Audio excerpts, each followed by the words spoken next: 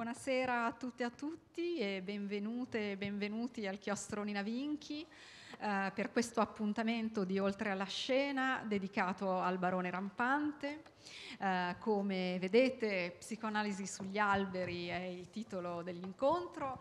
Eh, perché? Eh, perché eh, da molti anni ormai con il Centro Milanese di Psicoanalisi Cesare Musatti abbiamo avviato un percorso di collaborazione che è sfociato tra l'altro in un gruppo che si chiama Teatro e Psicanalisi, in cui gli psicanalisti del centro, alcuni psicoanalisti del centro, eh, si sono posti per obiettivo quello di far dialogare eh, il teatro e la pratica dell'analisi attraverso la presa in consegna di uno spettacolo, eh, uno spettacolo del piccolo teatro o in scena al piccolo teatro, poi probabilmente si allargherà questo, uh, questo punto di osservazione, magari anche altri teatri, non vogliamo monopolizzare l'attività uh, del gruppo.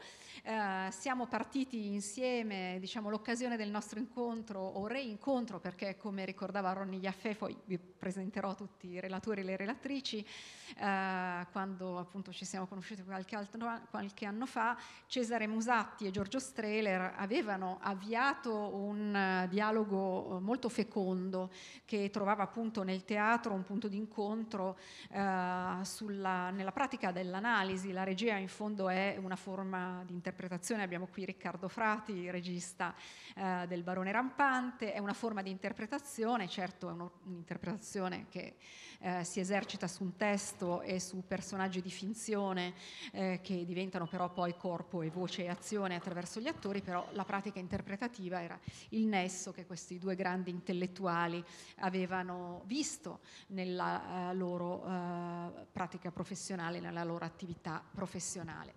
Uh, il tema del nostro incontro è naturalmente il barone rampante di Calvino, il barone rampante spettacolo per la regia di Riccardo. Riccardo Frati eh, sarà qui con noi e interverrà eh, anche in veste di lettore mh, mm, di frammenti eh, del testo.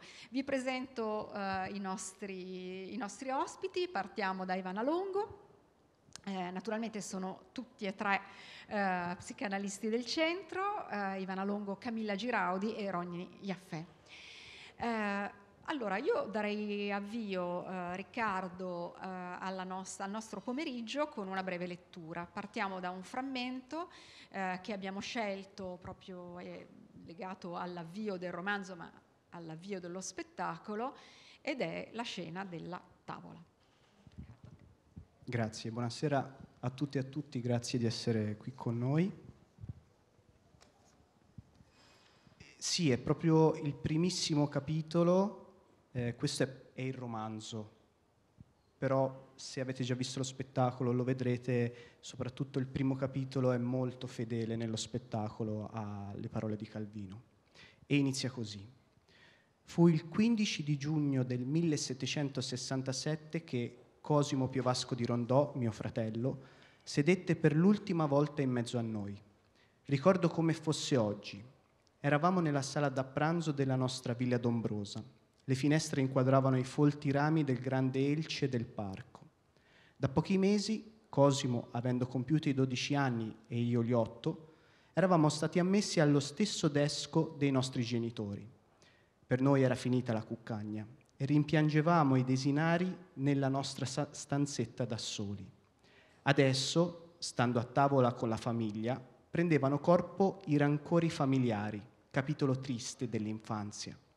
Cominciò una serie di sgridate, di ripicchi, di castighi, di impuntature, fino al giorno in cui Cosimo rifiutò le lumache e decise di separare la sua sorte dalla nostra. Di questo accumularsi di risentimenti familiari mi resi conto solo in seguito. Allora avevo otto anni, tutto mi pareva un gioco. La guerra di noi ragazzi contro i grandi era la solita di tutti i ragazzi. Non capivo che l'ostinazione che ci metteva mio fratello celava qualcosa di più profondo. Si capisce quindi come fosse la tavola, il luogo dove venivano alla luce tutti gli antagonismi l'incompatibilità tra noi e anche tutte le nostre follie e ipocrisie e come proprio a tavola si determinasse la ribellione di Cosimo. Per questo mi dilungo a raccontare, tanto di tavole imbandite nella vita di mio fratello non ne troveremo più. Si può essere certi. Grazie Riccardo. Ecco, una tavola che non ritroveremo più eh, nella vita di Cosimo, perché come tutti sapete eh, Cosimo sale sugli alberi e non scenderà mai più. Eh, mi colpisce molto in questo brano che tu hai letto non solo l'istituirsi di una serie di relazioni conflittuali con la famiglia che poi chi ha visto lo spettacolo sa e chi ha letto il libro sa, si sviluppa attraverso anche l'azione della sorella che qui non è raccontata, eh, di un vero e proprio sadismo culinario attraverso la preparazione di questi piatti eh, raccapriccianti. Mi colpiscono due cose. Ehm, eh, un avverbio, no, forse no, no, è un sostantivo perché è ostinazione, non ostinatamente, l'ostinazione della ribellione di Cosimo. Allora, e, e poi siamo in una dimensione di infanzia, no? sono ancora bambini, non sono ancora ragazzi, siamo all'inizio, è il trampolino proprio della eh, ribe- ribellione di Cosimo. Eh, uso queste parole e questi temi per portarmi verso di te, Ivana, perché so che hai preparato eh, una breve relazione su proprio questo tema, cioè il tema del trauma, il tema dell'infanzia eh, e diciamo del corpo eh, di, di, Cosimo. Ti passo il microfono perché non so se ne hai un altro. No, non ti sentono, non ti fidare, so, per esperienza. Volevo provare. No, no, Mi sentite? Allora, il titolo di questa mia breve relazione è Il corpo in scena. Cosimo è un fantasma. La storia è nota. Cosimo, un ragazzo di 12 anni, rifiuta, disobbedendo al padre, di mangiare un piatto di lumache preparato dalla sorella Battista e decide di passare la sua vita al- sugli alberi. Passano gli anni e Cosimo continua a stare sugli alberi studia, impara tante cose, ha contatti con moltissime persone e soprattutto si innamora. I genitori hanno accettato la sua diversità, molto è cambiato, ma perché prosegue la sua vita sugli alberi? Sembra, e lo è anche stato, un gesto emancipatorio, la ricerca di una propria identità che inevitabilmente può passare attraverso uno scontro generazionale il giovane, in genere, uscito dall'infanzia, ha il compito di modellare il suo mondo interno e decidere chi vuole essere. Cos'è il mondo interno? È l'insieme dei nostri vissuti, delle nostre esperienze, dei nostri tratti ereditati, dei nostri pensieri e tanto altro. La possibilità di transitare tra questi affetti, spesso in opposizione, con relativa facilità ha come effetto la possibilità di avere un mondo interno più morbido e soprattutto più ricco. Viceversa, la presenza di barriere troppo severe, la difficoltà e la paura di accettare sentimenti dolorosi o aggressivi ci libera della libertà di essere noi stessi. Sembra di trovarsi al checkpoint Charlie, in presenza di guardie armate che con aria truce ci minacciano se non siamo e facciamo esattamente come loro desiderano. A me è capitato davvero al checkpoint e mi hanno guardato malissimo. L'adolescenza ha anche il compito di riparare, riprendere e integrare aspetti del passato che non hanno trovato un'adeguata lavorazione e spesso proprio questa elaborazione passa attraverso una messa in scena. Proprio per questo motivo, cioè per gli aspetti della prima infanzia che non hanno ancora trovato la strada della parola, ma si affidano al corpo e proprio per questo motivo porterò degli esempi che parlano di bambini.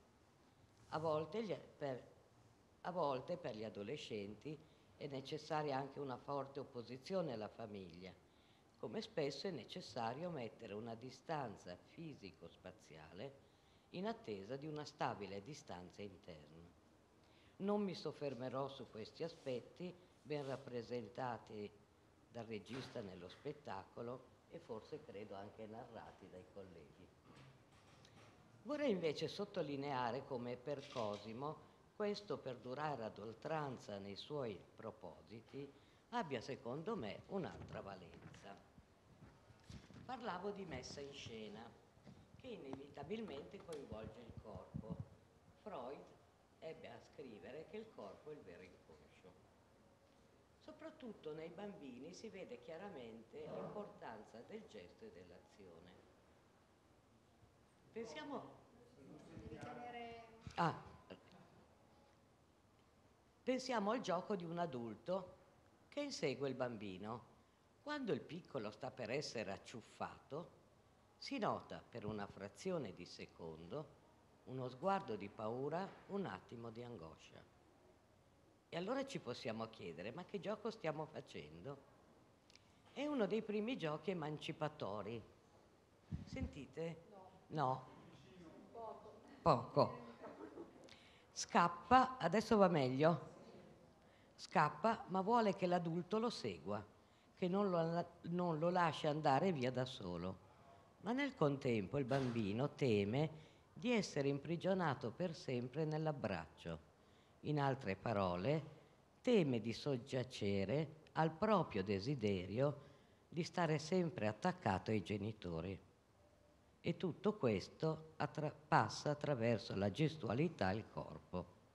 Vi faccio un altro esempio che riguarda due bambini, fratello e una sorella. Lucia ha tre anni, mentre il fratello Teo ne ha sei. Sono bimbi molto diversi. Teo ha una grande sensibilità per le separazioni. Fin da piccolissimo lo gettavano nell'angoscia più nera. Nato dopo due aborti spontanei, forse incarnava il timore dei genitori di poterlo perdere. Lucia invece sembra passare indenne alle separazioni, sembra la pubblicità della pila Duracell un attimo di crisi e si riparte come nuova. Siamo ai primi giorni di scuola, nuova per Teo e nuova per Lucia. Ovviamente Teo piange quando deve separarsi. Lucia fa finta di niente. Dopo pochi giorni Teo smette di piangere perché si è fatto degli amici. Ma Lucia ha bisogno di qualcuno che pianga al posto suo e durante il tragitto in, auto, in auto dice Sorniona al fratello, guarda che manca poco alla scuola, ora devi iniziare a piangere. Per poter trovare la strada delle parole occorre la presenza di un altro, di una relazione significativa che aiuti il bambino a transitare dal gesto al pensiero. Il corpo spesso fa la parte di Teo, significa rappresenta qualcosa che Lucia non è ancora in grado di dire esplicitamente. Ritorniamo a Cosimo. Passano gli anni e lo vediamo sempre esposto a intemperie, quasi sempre solo sul suo albero. Non ha nessuno che gli tiene la mano e non ha un posto caldo e accogliente. E soprattutto è sempre fuori. Detto con altre parole, non ha un contenimento, e questo corpo sospeso sembra denunciare proprio questa mancanza. Immaginiamo una notte buia e tempestosa. Il piccolo, così mi viene da chiamarlo, è lì solo e al freddo. Vede le luci all'interno delle case e le persone riunite, tranne lui. Mi ricorda la fiaba della piccola fiammiferaia che nella notte di Natale sola, scalza, affamata e al freddo, vede persone felici che si scambiano regali, ma lei è esclusa. Accende un fiammifero dopo l'altro per scaldarsi, ma soprattutto per avere una luce, quasi uno sguardo che la veda, emblema e ricordo di una calda relazione che purtroppo ha perso le è morta la madre e poi anche la nonna. Anche la generalessa, la madre di Cosimo, sembra albergare simili sentimenti, ma... Sitz, con l'attrezzatura da battaglia, rimaneva pur sempre madre lo stesso, col cuore stretto in gola. Però vivere questa apprensione in veste di generalessa le impediva di esserne straziata, perché per unica difesa aveva quello stile militare ereditato, dai von Kurtewitz. Poco prima la generalessa però ci racconta la sua storia e il motivo della sua difesa militare. Pizzi e ricami con mappe geografiche, cuscini o drappi d'arazzo, punteggiati di spille e bandierine, segnando i piani di battaglia delle guerre di successione. Sono una von Kurtewitz, Conradine, figlia genera- del generale Konrad von Kurtewitz, che vent'anni prima aveva occupato queste terre al comando delle truppe di Maria Teresa d'Austria. Orfana di madre, il generale, mio padre, mi portava con lui al campo. Il dolore di essere orfana e aver perso la madre da piccina viene affrontato con la grandiosità legata al padre, al fine di sfuggire agli aspetti di un buco depressivo troppo doloroso e pieno di solitudine. Purtroppo Conradine non ha potuto elaborare diversamente le mancanze e la, lecera- e la lacerazione di una perdita così profonda. Analogamente per Cosimo le scelte e le parole hanno un andamento a momenti glorioso e spavaldo, ma il corpo in solitudine fra questi alberi mette in scena una grande incuria, incuria, una fragilità estrema, un essere fuori dai pensieri geni, dei genitori che si colgono nelle seguenti considerazioni. Cosimo, a proposito dei genitori, dice In fondo erano tutti e due rimasti ai tempi della guerra di successione, lei con l'artig- l'artiglieria nella testa e lui, mio padre, con gli alberi genealogici, e Biagio? Con tutto questo furono degli ottimi genitori, ma talmente distratti che noi due potemmo venir su quasi abbandonati a noi stessi. E questo essere stato prima, ma anche ora, fuori dal pensiero dei genitori, non essere stato da loro contenuto, non permette a Cosimo di allontanarsi da casa. Perché? La letteratura parla molto di fantasmi e tutti i fantasmi hanno queste caratteristiche in comune. Sono ectoplasmi, né dentro né fuori, derivano da un crimine efferato ed ingiusto, vogliono essere ascoltati e spariscono dopo che è stata loro resa giustizia. In questo senso Cosimo è un fantasma.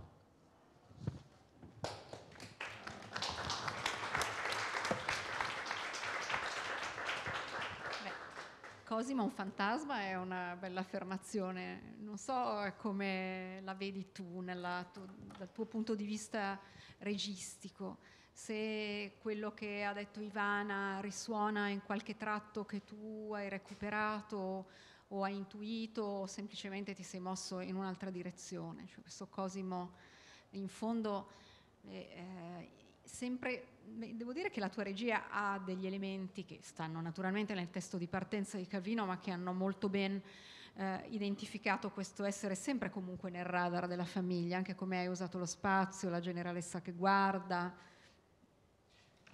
Sì, assolutamente il, il racconto del romanzo è spalmato, diciamo così, anche prossemica, prossemicamente, quindi la distanza tra i personaggi a sua volta racconta tantissimo. Eh, ci sono stati due o tre parole nell'intervento, chiaramente le uso come, come, scintille intorno al concetto espresso che, come dire, sono molto calzanti rispetto al lavoro che abbiamo fatto nell'adattare il romanzo e rispetto al teatro, il linguaggio teatrale in generale. Il primo è chiaramente la distanza, va da sé che eh, come dice Calvino stesso, la storia di Cosimo si fonda su una presa di distanza dalla famiglia e dalla realtà, ehm, con tutti i messaggi e le metafore che questo porta con sé.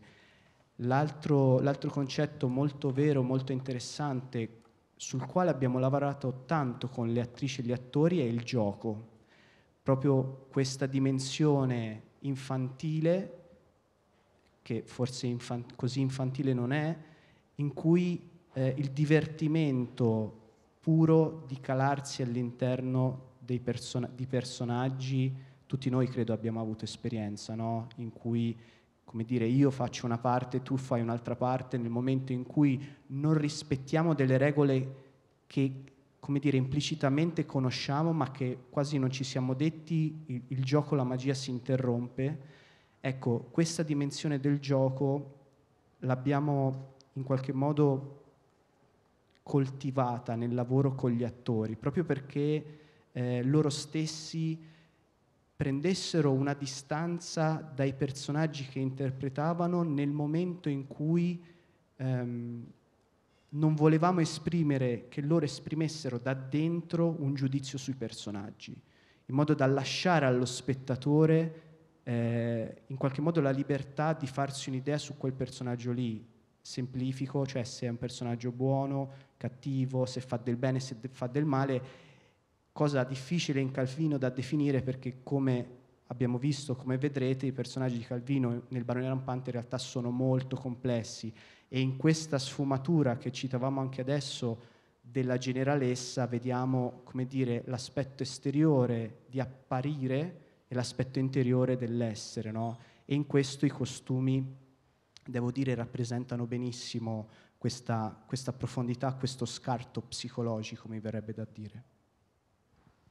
Grazie, è, è molto interessante quello, quello che dici eh, perché eh, la prossemica in, questo, in, questa rappresentazione, nella tua regia e nel romanzo, come dicevi, ha un'importanza straordinaria eh, e certamente la parola scritta consente eh, di estendere eh, un territorio, di creare un mondo, di creare mondi. Il teatro eh, impone invece la sintesi eh, e eh, in uno spazio come questo una sintesi anche come dire, particolarmente economica rispetto alla dimensione proprio concreta dello spazio scenico, però è una dimensione eh, che consente di mettere in campo eh, tutti i temi ma anche tutte le forme di relazioni e eh, il, l'arco evolutivo eh, del nostro cosimo che parte appunto poco più che bambino, preadolescente o adolescente, poi cresce in questa sua parabola fino a diventare un fantasma. Forse lo è sempre stato, no? non, non, lo sappiamo, forse come dicevamo prima nel nostro caffè pre-conferenza, pre-incontro, chissà, forse è solo una proiezione, un'invenzione, un racconto, visto che il tema del raccontare è così presente, della letteratura è così presente in questo romanzo, un racconto, un'invenzione del fratello Biagio. Però parliamo di arco evolutivo di un personaggio naturalmente, eh, di un ragazzino che poi diventa uomo e parliamo però anche eh, di temi identitari. Ovviamente i temi identitari sono temi che sempre fortemente ci interrogano sia noi che si fa teatro sia chi naturalmente si occupa eh, di, di, di, psicanalisi ed è anche il tema eh, da cui tu sei partita nell'interpretazione del barone Rampante rampante, Camilla, vero? Sì, ho molto pensato all'identità perché eh, è un romanzo che sembra un romanzo di formazione, parla di un ragazzino che appunto cresce, invecchia e questo tocca tantissimo quello che noi facciamo quotidianamente con gli adolescenti, abbiamo gli studi che sono sempre più pieni di ragazzi che hanno bisogno e la domanda è questa, è chi sono io? Eh, Innanzitutto, eh, intanto che cos'è il concetto di identità? Perché a volte eh, dall'etimologia, no? che sembra qualcosa che sia una riduzione a una cosa singola, quando noi parliamo di noi, diciamo io, e abbiamo un po' l'illusorietà di poter parlare di un'unica parte, mentre invece eh, sappiamo che, che, che, l'identità è una moltitudine. Walt Whitman diceva mi contraddico, contengo moltitudini e questo è come dovremmo essere abituati a vederci. Quindi interessante nella chiacchiera che abbiamo fatto prima eh, c'è stata anche l'ipotesi, no? appunto chissà se Cosimo è un fantasma, se è una parte di Biagio, se Biagio e Cosimo sono parti di Calvino, perché un po' nei, nelle mie riflessioni c'è stato anche una, mm, un pensiero rispetto a quando è stato scritto il barone rampante, perché Calvino lo scrive eh, dopo un periodo in cui stato, era un giovane adulto, era in difficoltà perché aveva scritto I sentieri dei nidi di ragno, che aveva avuto un grandissimo successo e c'era tantissima aspettativa, tutti gli intellettuali dell'epoca era molto apprezzato, si aspettavano il grande romanzo. E lui era molto bloccato, eh, forse perché appunto aveva paura di identificarsi una volta per tutte, perché poi lui era estremamente creativo e quindi nella mia mente rimbalzava un po' l'idea, chissà se Cosimo e Biagio potessero essere due parti sue, lui che era da una parte un illuminista convinto e quindi infatti sto pensando cosa penserebbe Calvino se si immaginasse che ci sono tre psicanalisti che stanno parlando di lui, io credo che non sarebbe per niente contento e anzi eh, volevo citare che addirittura lui in, faceva dire a Flannery eh, nella, non lo trovo, eh, ah sì, in Se una notte d'inverno un viaggiatore, eh, gli faceva dire come scriverei bene se non ci fossi, se tra il foglio bianco e le storie che prendono forma non si mettesse di mezzo quello scomodo diaframma che è la mia persona. E addirittura auspicava l'avvento di queste strane macchine, le macchine elettroniche, che sono l'intelligenza artificiale, no? che adesso produce dei contenuti sem- senza l'identità di chi la scrive, insomma, o, o, prendendo milioni di parti dalle milioni di identità di chi le scrive. E quindi se Calvino dichiarava nei suoi discorsi una tensione, una ricerca, un'oggettività assoluta, illuminista, che sentiamo nella tensione del testo, sentiamo in Biagio, poi forse queste tensioni vengono spente come la rivoluzione francese, il periodo in cui mh, Calvino non a caso eh, data il romanzo del barone rampante e di nuovo appunto sono temi di rivoluzione, rivoluzione che è la rivoluzione dell'adolescenza. E quindi ecco, torniamo all'identità per cui eh, Calvino pensa alla propria identità di adulto a cui approda poi con la produzione di questo romanzo eh, e il barone si interroga sulla propria identità e decide quasi letteralmente non mangio la minestra, salto dalla finestra. Però lo fa in un modo creativo, come lo fa Calvino, per cui non salta dalla finestra che si uccide, salta dalla finestra, salta sugli alberi, vi frego. E quindi è interessante, qui volevo rifarmi anche a me, le tue parole hanno fatto venire delle scintille, gioco e distanza sono due parole che usiamo anche noi psicanalisti, non solo gli attori nelle loro formazioni, ma anche noi, perché la distanza, la giusta distanza, è qualcosa che noi cerchiamo con i nostri pazienti. E qual è la giusta distanza? E è una domanda trabocchetto perché la giusta distanza è continuare a spostarsi e quindi a essere vicini, essere lontani in, in un continuo passaggio no? di vedere da un vertice osservativo a un altro vertice osservativo. E quello che ne parlavamo prima, poi eh, Calvino non riesce a fare è ritornare, eh, Cosimo non riesce a fare, è un lapsus, lapsus. eh, è, è quello di, di, ritornare, per cui nella strappo adolescenziale c'è un eternamento ideale di questa spinta giovanile che però va ben oltre a quelle rotture che ci sono nei romanzi di formazione in cui rompo con eh, il mondo dei padri, rompo le statue degli antenati, io me ne infischio degli antenati, no? E, così, e però poi c'è un ritorno, c'è un recupero che è l'approdo all'età adulta e quindi quella che è l'età dell'ambivalenza, quella che è l'età dell'accettazione di un conflitto interno in cui si può ritrattare, ma ritrattare in, avendo fatto proprio le istanze creative di essere stati lontani. E quindi forse ci chiedevamo, ma, ma è matto Cosimo?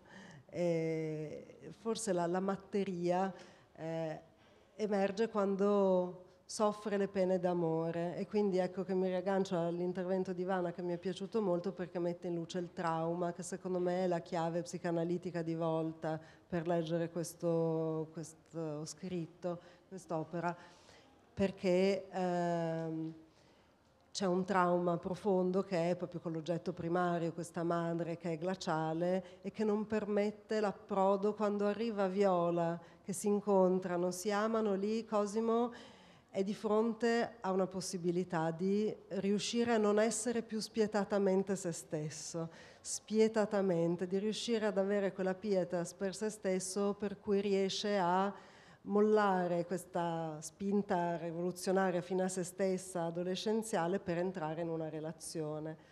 E qui ecco che invece se è gelato qualcosa e lì poi si ammattisce, non riesce più a entrare in relazione neanche con eh, la comunità con cui invece che, con cui era cresciuto. E, e quindi ecco, per l'identità volevo leggervi brevissimamente una cosa che secondo me rende molto bene l'idea di che cos'è l'identità. 1807, Hegel. Il boccio dispare nella fioritura e si potrebbe dire che quello viene confutato da questa. Similmente, all'apparire del frutto, il fiore viene dichiarato una falsa esistenza della pianta e il frutto subentra al posto del fiore come sua verità. Tali forme non solo si distinguono, ma ciascuna di esse sono reciprocamente incompatibili. Ma in pari tempo la loro fluida natura ne fa momenti dell'unità organica, nella quale esse non solo non si respingono, ma sono anzi necessarie l'una non meno delle altre, e questa uguale necessità costituisce ora la vita dell'intero. Volevo portare questo perché è importante appunto nel 1800 la fluidità e il cogliere che l'identità non è una cosa che si ferma mai. Anche noi oggi spesso pensiamo che sia un gioco che si chiude con l'adultità. Non è così, c'è chi parla di adultescenza, per cui quando c'è l'adolescenza di quando siamo adulti che, e, e anche l'età anziana ormai si spostano continuamente i limiti, per cui possiamo rimetterci in gioco e avere nuove identità in continuazione e quindi vediamo anche nei nostri studi tanti adolescenti, anche grandi. Beh, per dirla come un altro grande francese, Arthur Rimbaud, io un altro. E questo ci riporta un po' al gioco del teatro e del fare finta che o dell'interpretazione di qualcun altro. In realtà, eh, nella, chi ha visto lo spettacolo lo sa, eh, certamente la tua generalessa è distante ma non è fredda eh, almeno mh, da spettatrice mi sembra una lettura che colorisca eh, di tanta umanità il personaggio della madre, che certo parla eh, di carte geografiche, invasioni, eh, azioni militari come una appunto più giovane o poi meno giovane stratega, eh, ma che poi però tenga sempre questo figlio sotto uno sguardo affettuoso quando piove manda, manda coperte, ma anche nella versione, nell'interpretazione di Anna Manea eh, mi sembra avere una nota di calore sempre presente che viene da, da te, cioè dalla tua interpretazione, non tanto da Calvino, forse sì. Sì, dalla, anche inevitabilmente cosa si sceglie di sottolineare e poi di riportare in scena, quindi è eh, chiaro si poteva pendere più verso una sfumatura o l'altra, questa, questa profondità del personaggio che nella generalessa appunto si nota particolarmente, secondo me, secondo noi era un valore arricchente, tant'è che Biagio, o potremmo dire Calvino, lo dice, lei fu la prima tra noi che riuscì a comprendere Cosimo e amarlo eh, in questo suo essere diverso. Ed è anche quella che paradossalmente attraverso il cannocchiale, quindi attraverso la distanza, ma attraverso uno strumento che permette di esserli vicino, è quella che, come dire, da, da figura materna forse in controtendenza sente meno la, la mancanza del figlio, che è una cosa meravigliosa della scrittura e del pensiero di Calvino, tant'è che alla fine quando i fratelli si ritrovano al capezzale della madre, sempre Biagio dice rimasi sorpreso come eh, mia madre parlava a me e a mio fratello come se fossimo entrambi lì al suo capezzale. E, ehm, e, un'altra cosa interessante, cerco di essere breve e di non perdermi tutti gli spunti che sono usciti, è appunto rispetto all'identità, questo contrasto di forse appunto Calvino, eh, è possibile che inevitabilmente da scrittore, spostandosi in ogni personaggio e quindi affrontando ogni aspetto diverso dei personaggi che lui ha creato, in qualche modo ci racconti anche un po' di sé e inevitabilmente della sua esperienza. In questo infatti quando lui parla di questo ossimoro che mi ha sempre in qualche modo messo in crisi anche nella messa in scena, quando lui dice che la profondità è nascosta in superficie, che sembra quasi un rebus da, da risolvere, eh, senza dare la soluzione, però attraverso i costumi, attraverso l'atteggiamento dei personaggi, è come se lui nello scrivere e noi nel, nel tentare di metterlo in scena, è come se nelle sue movenze, nel suo corpo, appunto nella loro identità così sfaccettata, in qualche modo già ci dipingesse i personaggi per come sono, per poi mostrarci appunto una profondità eh, molto, molto varia. Molto, è molto, interessante quello che dici e anche questo riferimento alla profondità, eh, no, profond- profondità e superficie. Mi hai fatto pensare alle celeberrime pagine sul tema della leggerezza delle elezioni americane, no, dove appunto la leggerezza è ossimoricamente legata ancora una volta invece a tutta una dimensione, non dico di pesantezza, ma di ancora di profondità, di complessità. Quindi ciò che è leggero non è per forza qualcosa, cioè non è un disvalore la leggerezza, non è superficialità, ma può essere un atteggiamento e un codice interpretativo della realtà o anche, perché no, eh, di un contesto eh, letterario o di una pagina scritta.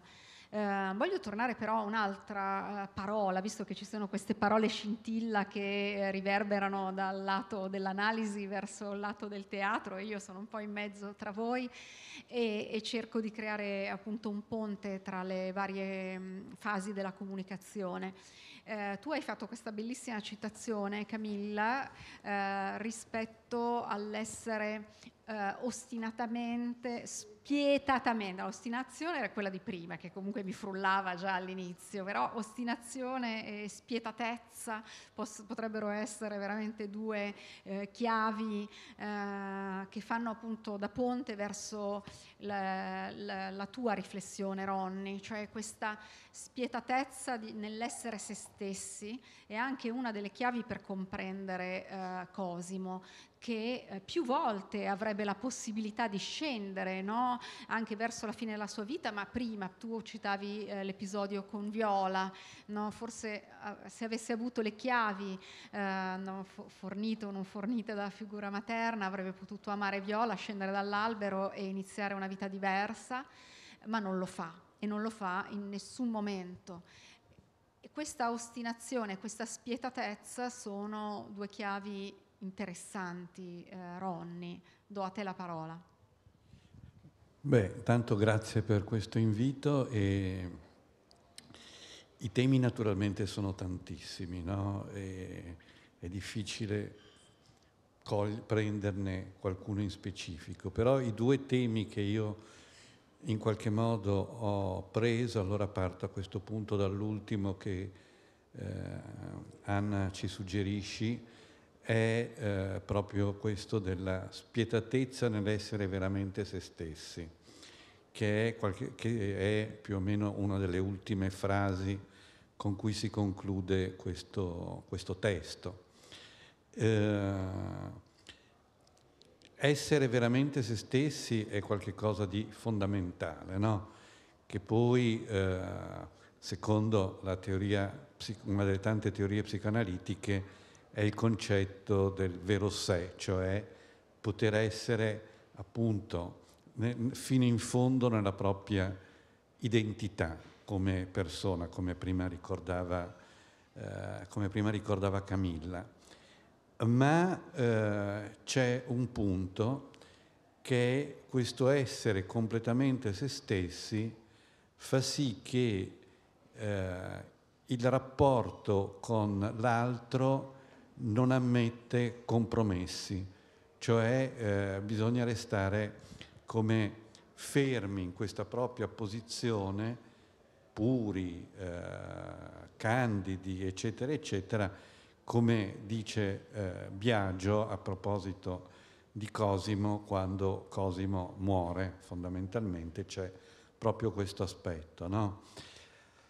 E questo rende per Cosimo eh, la vita è estremamente difficile, eh, anche se apparentemente, soprattutto in tutta la prima parte del testo, sembrerebbe esserci una lievità, una leggerezza, come tu dici, ma poi eh, si trasforma in qualche cosa che diventa effettivamente molto problematico.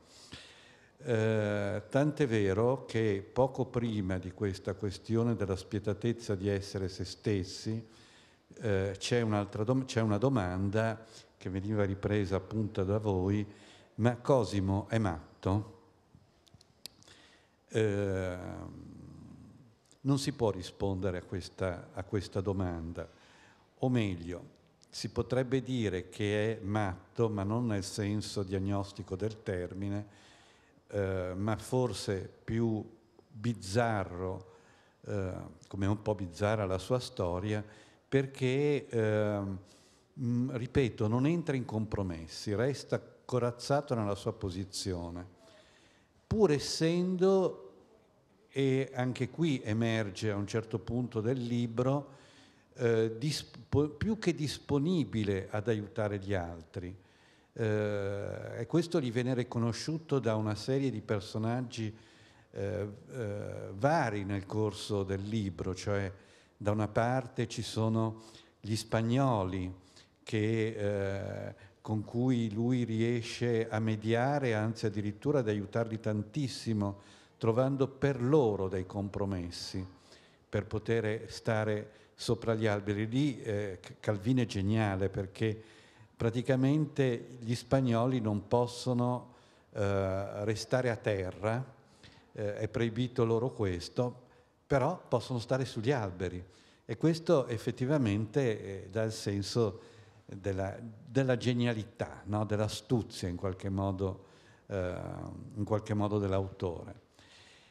Poi, eh, Calvin, eh, poi eh, eh, appunto Cosimo riesce a dialogare con personaggi straordinari, fra cui eh, Napoleone, eh, che desidera tantissimo conoscerlo, sarebbe un eroe, però alla fine non gli viene dato, come desidererebbe Biagio, eh, lo stemma. Eh, quindi Biagio resta molto deluso da questo mancato riconoscimento. Poi eh, c'è la curiosità di Voltaire, ma eh, vuole andare in cielo eh, Cosimo, no? quindi ci sono tutti questi passaggi. Allora, eh, io credo che l'aspetto eh, drammatico e tragico di Cosimo è quello, ripeto, di non poter, di non poter mediare in modo elastico tra lo stare sull'albero e il poter scendere ma se fosse così non sarebbe il barone rampante, naturalmente. Eh, però che cosa questo comporta come dramma per, per, per Cosimo? Eh, secondo me due punti sono particolarmente marcati, ne parlavamo per l'appunto, per l'appunto prima, nella conversazione che abbiamo avuto eh, tra noi cinque, che eh, c'è questo momento struggente eh, del cane di Ottimo Massimo in cui eh, a un certo punto Ottimo Massimo non ne può più di stare sempre a seguire il suo padrone e quasi quasi lo invita a uscire allo scoperto, a scendere sul prato, ma eh, appunto non non ce, la fa, no, non, non può deve restare sull'albero e dolorosamente lascia che il cane in qualche modo se ne vada, quindi questo è un primo strappo. Il secondo strappo riguarda la dimensione, la dimensione dell'amore, cioè nel senso che eh, lui conosce questa donna, Viola, che è eh, molto disponibile a venire sugli alberi con lui, in cui vivono la loro intimità, la loro sessualità, il loro affetto, eccetera, ma anche lì Calvi- ehm, Cosimo non è in grado di muoversi e Viola va per la sua strada, e, eh, Parigi, Londra, eccetera, eccetera, che è tutto l'opposto dello stare all'interno di questo. Con tutto questo, e qui concludo, cosa voglio dire? Che eh, l'inizio della storia di Cosimo, quando rifiuta il piatto di lumache è un atto di ribellione di un ragazzino di 12 anni. Oggi appunto parlando di adolescenti si direbbe quasi che i dodicenni sono ormai adolescenti, mentre ancora prima erano in un'età ancora prepuberale. Cioè non... Comunque, lui eh, fa questo atto, sale sugli alberi e, da lì si diletta nelle sue avventure, eccetera, eccetera. Però eh, io credo che questo inno alla libertà eh, diventi la prigionia di se stesso, cioè nel senso che lui è dentro le reti di, di, dentro le reti di questi rami per cui non può, non può andare via. Eh, lui parlava, se ne parlava prima, potrebbe essere un potenziale rivoluzionario, ma eh, se un rivoluzionario resta da solo, non compie nessuna rivoluzione, resta in qualche modo un atto nichilistico fino a se stesso che gli si conclude. E vabbè, molto triste la parte, secondo me, poi chiaramente ci sono tante chiavi emotive di lettura, molto triste la parte finale in cui eh, dopo aver potuto andare tra un albero all'altro scopre che dovrebbe eh, mi pare proprio nella parte in cui dovrebbe raggiungere il cimitero, ci sono i cipressi e sui cipressi non si può andare e quindi lì si spezza proprio qualche cosa e si entra più in un clima di tipo depressivo. Mi fermo qua. Grazie Ronny, grazie Camilla, grazie Ivana. Beh, tre, tre punti di osservazione, un applauso per voi. Veramente avete aperto tantissime piste interpretative rispetto naturalmente a un'opera letteraria, a uno spettacolo teatrale. Naturalmente chi ha visto lo spettacolo conosce le soluzioni registiche scelte da Riccardo, chi ha letto il romanzo ha potuto trovare sicuramente dei nuclei eh, tematici eh, che eh, incontrano appunto le vostre interpretazioni. Il tema della rivoluzione è, è, una rivoluzione di punto di vista perché lui sale, guarda dall'alto, vede il mondo dall'alto, non tocca terra eh, e non la tocca mai più. La rivoluzione è anche la rivoluzione francese, ma come si diceva può essere anche la rivoluzione sovietica che proprio in quegli anni eh, Calvino vede scontrarsi con i fatti d'Ungheria, eh, Calvino che uscirà dal Partito Comunista e quindi eh, il tema di una rivoluzione fallita, oltre che di un rivoluzionario che si spegne per non aver creato comunità e non essere di fondo, non aver accettato di essere forse meno spietatamente se stesso, ma più apertamente per gli altri. Quindi la metafora rivoluzionaria e gli agganci alla storia anche, eh, so, sono molteplici sia nel romanzo e ovviamente anche nello spettacolo. Io vorrei a questo punto, visto che ci restano pochi minuti e poi eh, dopo lasceremo anche spazio all'ingresso del pubblico in sala, eh, vorrei chiedere al nostro pubblico se ha delle domande, eh, delle osservazioni o delle curiosità per il regista che abbiamo qui e quindi possiamo anche sganciarci dalla dimensione psicanalitica e fare delle domande prettamente teatrali a Riccardo oppure ai nostri eh, psicanalisti che appunto si sono eh, prodigati in tutta una serie di osservazioni davvero interessanti che poi daranno vita a una pubblicazione, vero, giusto, eh, per i tipi di mimesis penso che vedrà la luce tra qualche tempo, ma che poi avremo sicuramente il piacere di presentare qui al chiostro. Ecco, questo era un riempitivo anche per darvi modo di pensare a qualche domanda e cercare di evitare sempre quei momenti di panico, del silenzio. Cioè, posso passare a una domanda? No, le passo il microfono perché sennò sempre qui non si sente. Grazie innanzitutto. Beh, la mia domanda n- non c'entra col barone rampante teatrale, però questa, eh, il fatto che si dica a tavola vengono alla luce tutti i conflitti, le guerre della famiglia, faccio un salto pindarico, mi ha fatto pensare ai, ai disagi alimentari, cioè il cibo diventa il centro, dà vita, eh, una vita sana, dà, dà, vita a fallimenti, dà vi- la tavola. Che cos'è la tavola e il cibo all'interno di una famiglia e davanti a genitori disattenti. Eh, sono d'accordo perché se il cibo nel mondo interno dei giovani è buono, eh, si mangia volentieri, si cresce, non si diventa spietati con, con se stessi.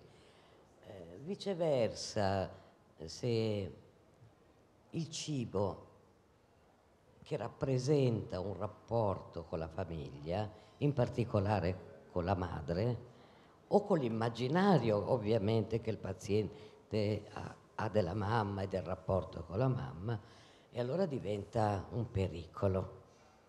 E poi, siccome siamo nel tema dei fantasmi, poi passerò a loro altre opzioni,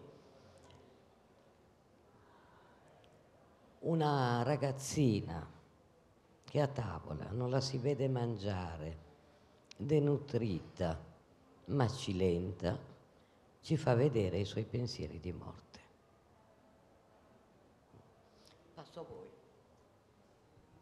Direi che è stata molto esaustiva. Beh, questa tavola, come dicevamo prima, è il trampolino della ribellione di Cosimo. E però qui abbiamo anche una ragazza di cui non abbiamo parlato, che è Battista, la sorella di Cosimo, che prepara del cibo terrificante.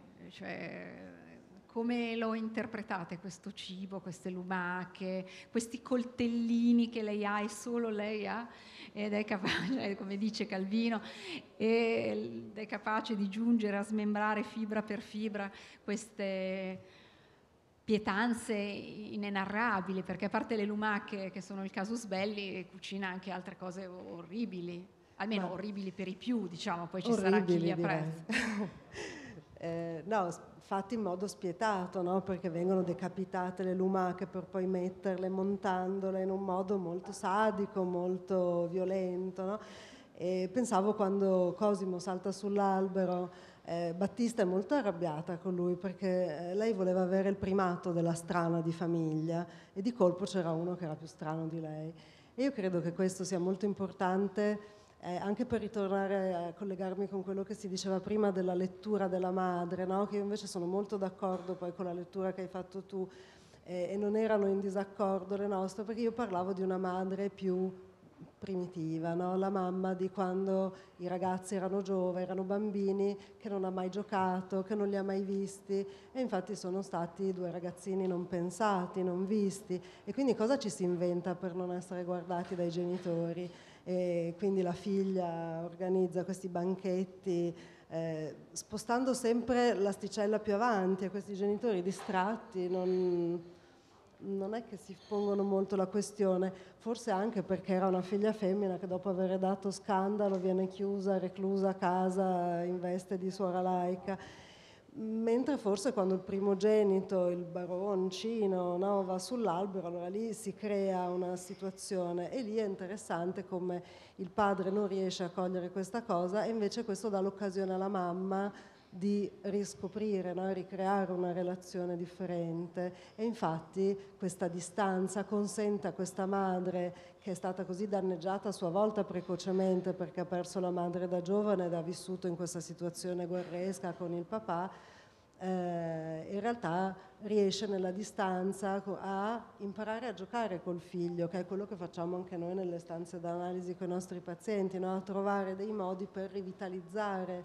un mondo interno che è un po' congelato e, e quindi ecco che si sviluppa un rapporto quella, fino a quella scena della morte della mamma che è di una bellezza sconvolgente in cui attraverso la bolla di sapone riescono a darsi quel bacio che non si sono mai riusciti a dare in vita. Aggiungo una cosa velocissima rispetto a questo, che infatti un altro grandissimo tema interessante è la questione della visibilità e dell'invisibilità per l'appunto.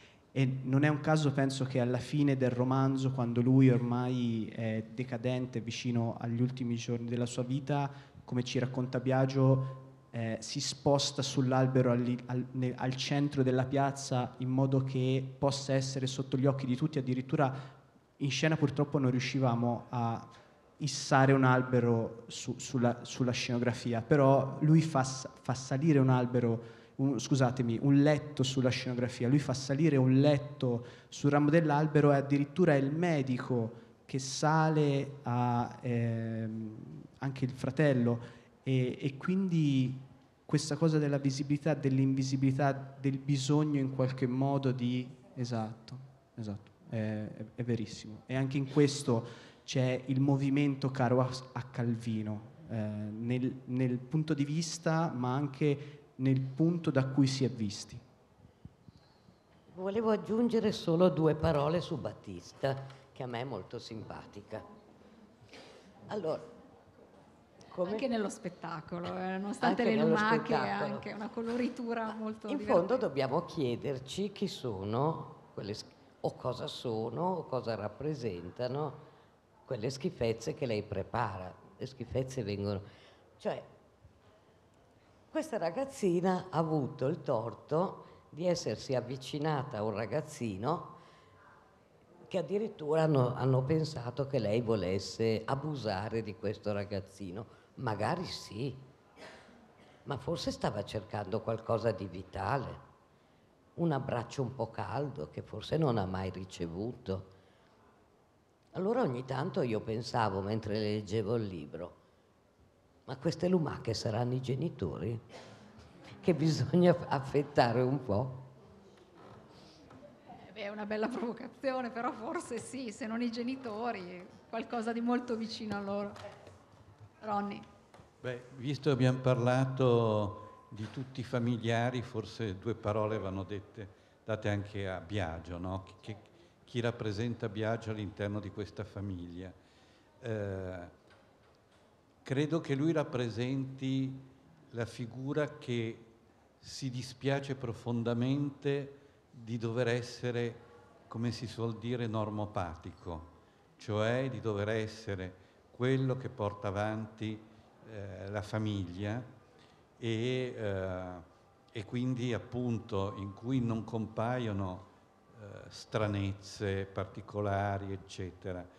Questo, questo fratello che, che, lo osserva, che lo invita a venire giù, eccetera, ecco, credo che ehm, lui rappresenti proprio il fatto di la convenzione sociale in qualche modo il, ehm, il conformismo.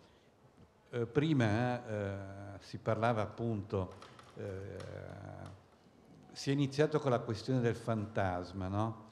E eh, associativamente veniva da dire, anche perché questa cosa è stata tirata fuori da, eh, dal regista, da Fratti, che chi lo sa se, mi permetto di dire Cosimo, perché uso le parole che ha usato lui, non fosse una fantasia eh, di, di Biagio, cioè in qualche modo, come direbbero gli psicanalisti, una specie di compagno segreto, eh, gemelle immaginario che, eh, che, gli permette anche di, di, di uscire da questa normopatia.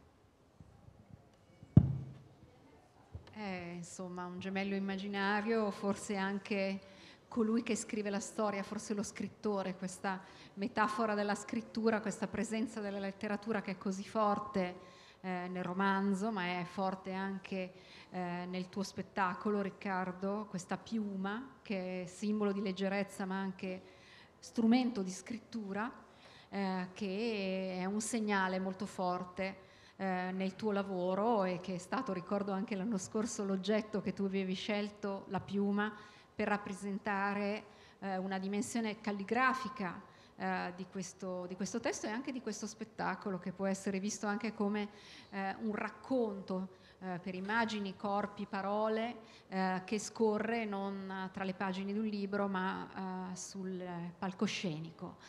Io purtroppo devo chiudere qui nostra, il nostro incontro perché come vedete il pubblico sta entrando e fra un po' inizieremo noi a disturbare l'accesso del pubblico e loro di converso noi. Eh, ringrazio Riccardo Frati, Ivana Longo, Camilla Giraudi e Ronny Iaffè e ringrazio voi.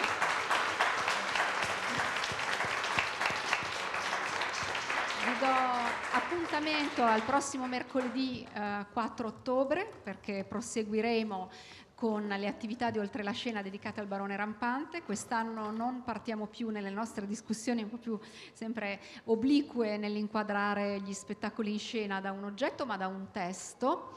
Eh, abbiamo chiesto a tutti i registi, alle registe alle compagnie in scena al piccolo teatro, gli autori naturalmente delle nostre produzioni, di fornirci un testo, un testo di partenza, un testo che possa consentire un'analisi, una, una, discussione intorno eh, allo spettacolo, ma sempre in termini appunto obliqui.